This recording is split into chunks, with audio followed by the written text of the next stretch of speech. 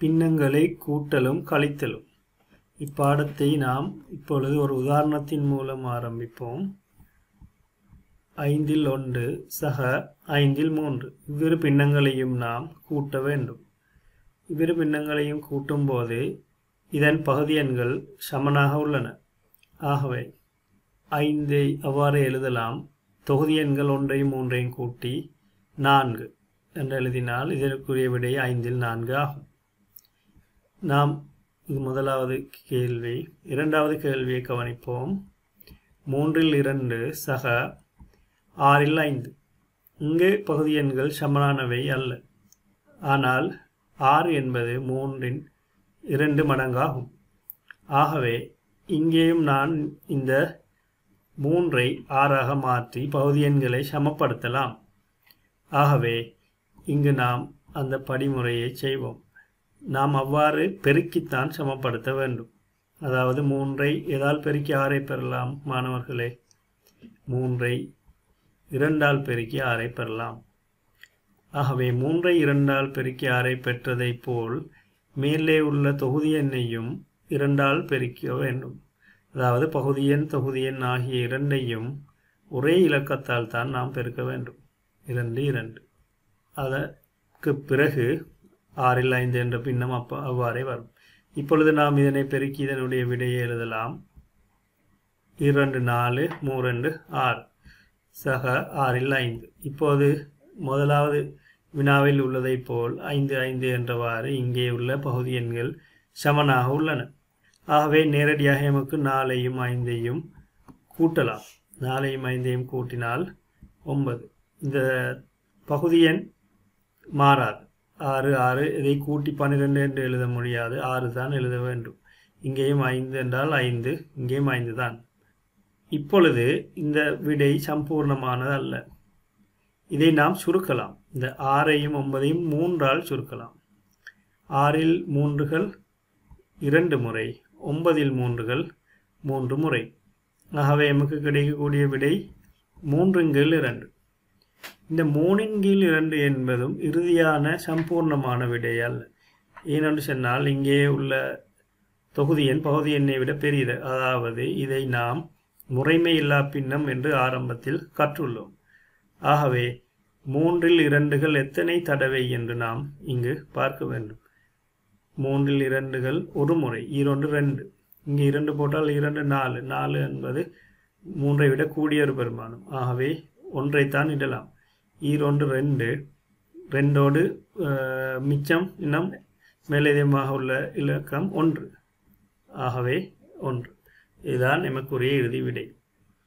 இவ்வாறு மாணவர்கள் இந்த உதாரணத்தை நன்கு அவதானித்து கற்றுக்கொள்ளவும் நாம் இதனை மேலும் விளங்கிக் கொள்வதற்காக நாம் இன்னும் ஒரு உதாரணத்தை கவனிப்போம். சி அடுத்த வினா. மூணில் இரண்டு சக ஒன்றின் கீழ் நான்கு. இங்கே உள்ள பகுதி எண்கள் மூன்றை நான்குக்கும் ஒன்றை ஒன்றால் பெருக்கி அதாவது மூன்றை பெருக்கி நான்கை எடுக்க முடியாது. இங்கே மூன்றை பெருக்கி ஆறை எடுத்ததை போல். இங்கே நமக்கு இன்னொரு வழியை பின்பற்றலாம். இந்த மூன்றையும் நான்கையும் எமக்கு பெருக்கலாம். மூன்று தர நான்கு என்று பகுதி எண்களை. பெருக்கியதன் பின்னர் மேலே உள்ள இந்த ரெண்டையும் நான்கையும் க்ரொஸ்ஸாக குறுக்கே பெருக்கலாம். ஈர்நாலு என்று. ஈர்நாலு எட்டு. இங்கே நேரடையாளம் அதன் பின் இங்கே மூணு தரம் உண்டு. இங்கே மூணு தரம் உண்டு. அதாவது மூன்றையும் நான்கையும் பெருக்கி கீழே எழுத வேண்டும். ரெண்டையும் நாலையும் பெருக்கி எட்டு. க்ரொஸ்ஸால் பெருக்க வேண்டும். இங்கே மூன்றையும் ஒன்றையும் பெருக்க வேண்டும். மூன்று மூன்று. இந்த இடத்திலே நாம் போமாஜி காணும் முறையை பயன்படுத்தவில்லை. வேண்டிய இரு பின்னங்களை கூட்டும்போது நாம் இந்த முறையை கையாளலாம். ஆனால் இறுதியில் நாம் என்ன நடக்கும் என்று கவனிப்போம். நாரெண்டு எட்டு மூணாலு பனிரெண்டு. இங்கே பனிரெண்டு இங்கே எட்டு மூன்று மூன்று.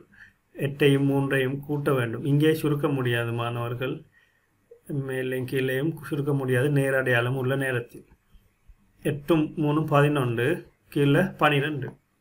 அப்போ இந்த சந்தர்ப்பத்தில் இதுதான் இறுதி விடை. அதாவது இங்கே நான் பெற்றுக்கொண்ட ஒன்பது இங்கில் ஆறை போல் சுருக்க முடியாது. பனிரெண்டையும் பதினொன்றையும் எந்த ஒரு இலக்கத்தாலும் சுருக்க முடியாது. ஆகவே இதுதான் இறுதி விடை. இந்த கணக்கில் வேறு சுருக்கல்கள் இல்லை. இலகுவாக விடையே எடுத்துக்கொள்ளலாம் மேலும் மாணவர்கள் விளங்கிக் கொள்வதற்காக நாம் இன்னும் ஒரு உதாரணத்தை கவனிப்போம். ஆறில் ஐந்து மறை நாலில் மூன்று. இங்கேயும் நாம் கவனித்தால் ஒன்றை ஒன்றால் பெருக்கி பெற முடியாது. அதாவது நான்கை பெருக்கி நமக்கு ஆறை பெற முடியாது. ஆகவே நாம் சி என்ற கணக்கை செய்ததைப் போல் இங்கேயும் அதே முறையை கையாளலாம். ஆறையும் நான்கையும் பெருக்குவது. ஆனால் இங்கே கூட்டல் இங்கே கழித்தல். ஆறு தர நாலு கீழே எழுத வேண்டும். ஐந்து தர நான்கு மறை ஆறு தர மூன்று. அதுக்கு பிறகு இதுக்குரிய விடையை நாம் பெற்றுக்கொள்ளலாம். இன்னொரு விடயம் மாணவர்களிடத்திலே நாம் ஞாபகப்படுத்த வேண்டும். இங்கே குறுக்கால் பெருக்கும்போது ஆரம்பத்தில் உள்ள பின்னத்தினுடைய தொகுதி எண்ணைத்தான் முதலில் பெருக்க வேண்டும். ஐந்து தர நான்கு இருபது. அதுக்கு பிறகுதான் அடுத்த பின்னத்தினுடைய தொகுதி எண்ணை பெருக்க வேண்டும். அதல்லாமல் ஆறு தர மூனை முதலிலும் ஐந்து தர நாளை பின்பும் எழுதினால் பிழையாக வரும். இந்த இடத்திலேயும் நாம் ஆரம்பத்தில் ரெண்டு தர நான்கு. ஆரம்பத்தில் உள்ளதை ஆரம்பத்தில் செய்ய வேண்டும். முதலாவது உள்ள தொகுதி எண்ணை இரண்டாவதாக உள்ள பகுதி எண்ணால் பெருக்க வேண்டும். அதன் பிறகு அடையாளத்தை இட்டதன் பிறகு முதலாவது பகுதி எண்ணை இரண்டாவது தொகுதி எண்ணால் பெருக்கல் வேண்டும். இந்த இடத்திலே நாம் மீண்டும் இதை கவனிப்போம். ஆறு தர நாலு இருபத்தி நாலு. ஐந்து தர நாலு இருபது. மறை ஆறு தர மூணு பதினெட்டு. அப்போ இருபதுல பதினெட்டை கழிக்கலாம். கழித்தால் இரண்டு. இந்த இருபத்தி நான்குன்றது அப்படியே வரும். இங்கே நாம் இது இந்த பகுதி எண்ணெய் தொகுதி எண்ணெயையும் இரண்டால் வகுக்கலாம். சுருக்களுக்காக இரண்டால் வகுக்கும்போது இரண்டில் இரண்டுகள் ஒரு முறை இருபத்தி நாலில் இரண்டுகள் பனிரெண்டு முறை. இதுதான் இறுதி விடை.